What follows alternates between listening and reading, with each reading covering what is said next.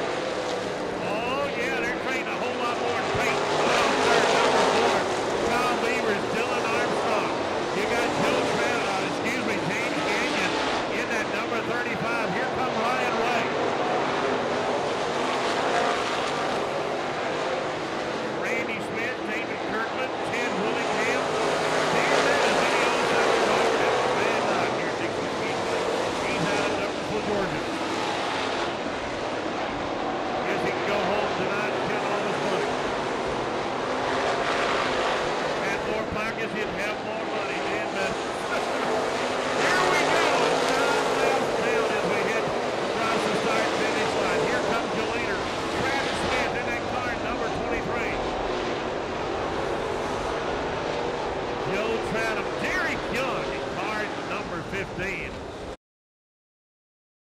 Hillary, Cameron Wilson are our winners tonight. You can come down to the Super Clean booth. You are our winners for tonight. Congratulations.